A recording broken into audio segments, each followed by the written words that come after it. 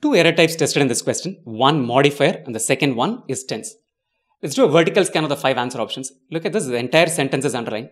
If you take a quick look, you'll realize that A and C have one type of construct, right? The structure of these two sentences, reporting a 90% drop in income, something is presented. There is a comma here. So it looks, it appears as if we are talking about a modifier followed by some information.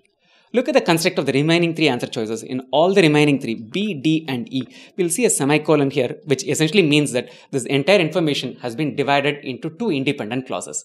Let's check out which makes sense. Let's start with answer option A. Reporting a 90% drop in net income during the second quarter.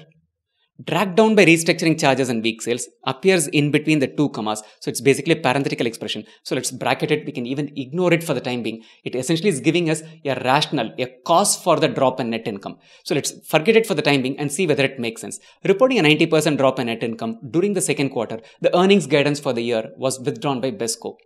The moment you see a modifier, the obvious question that we're going to be asking is who or what was reporting a 90% drop? The company was reporting a 90% drop. The company here is Best Buy Co. So Best Buy Co should have been the word that is placed next to this modifier, whereas we have the earnings guidance here. So it's a misplaced modifier error. The word that should be modified by the modifier is not placed next to the modifier. So A can be eliminated on account of misplaced modifier. Here we should have had Best Buy Co. While we are at this, we'll quickly move to answer choice C. We'll look at B subsequently because C, the construct, is akin to A. Let's see if C makes sense reporting a 90% drop in net income during the second quarter and dragged down by restructuring charges and weak sales, Best Buy Co. did something. So who was reporting a 90% drop? Best, Guy, Best Buy Co. was reporting a 90% drop. So to that extent, for this part, it is absolutely right. Let's read the sentence once more to see whether the entire thing makes sense. Reporting a 90% drop in net income during the second quarter and dragged down by restructuring. We're talking about something else also happening. Dragged down by restructuring charges and weak sales. Who or what was dragged down? When we're using an and here we're talking about two events right? The first one it's reporting 90% drop. Second one it was dragged down by restructuring charges. What was that it referring to? It is referring to best buy co. So we're saying best buy co was dragged down by restructuring charges and weak sales. We probably colloquially when you're saying we'll use that we'll say that this company was dragged down by something.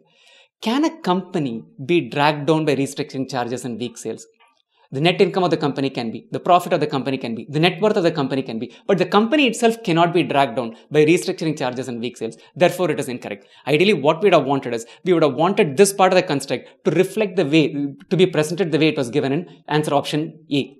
If it had had a comma, it would have been a parenthetical expression giving us a cause for why the income dropped. By having an and, it basically makes it as a list of two things. One thing happened for Best Buy and the second thing also happened for Best Buy. The second thing is dragging down, it's dragging down Best Buy. What was dragging down Best Buy? It's restructuring charges and weak sales. That is not making sense. So answer option C can be eliminated. What we'd have wanted is this to be a parenthetical expression. By making an and, it has become a listing of things.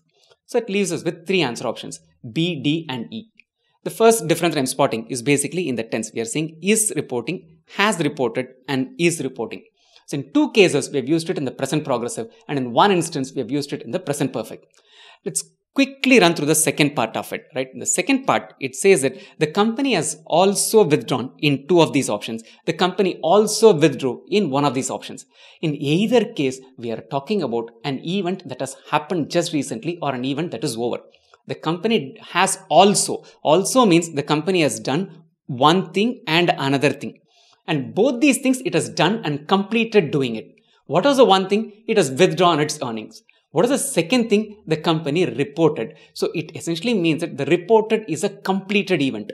In answer option B and in E, it is saying company is reporting. In the present progressive, it means that that event is happening right now. But the second part with the also clearly indicates that the reporting as an event should have got completed. So is reporting is incorrect use of tense. So you can eliminate choices B and D. Choice D is the correct answer to this question.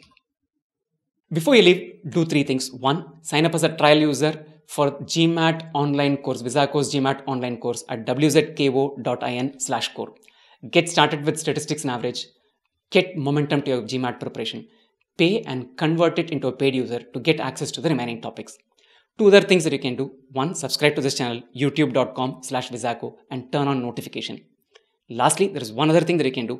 You can join as a member of this channel which is different from subscribing to this channel. There's a small monthly fee to pay to join as a member. You get some member only perks which are not available for all subscribers. Click on the join button. Even before you pay, you'll get a listing of the member only perks. Those member only perks will help give a boost to your GMAT preparation. Best wishes.